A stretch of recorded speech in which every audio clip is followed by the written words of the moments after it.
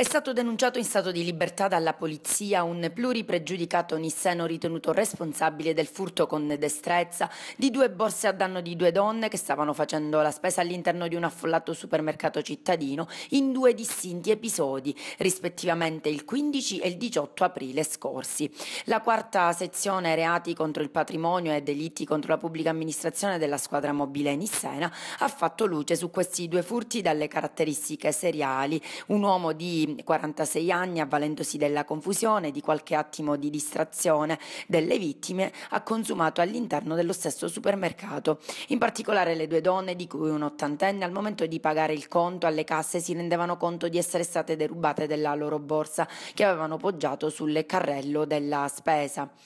Immediatamente sono state acquisite le registrazioni del sistema di videosorveglianza dalla cui analisi si è rilevata la presenza dello stesso uomo che con mossa fulminea per ben due volte rubava le borse e dopo averle nascoste all'interno del giubbotto si avviava velocemente verso l'uscita.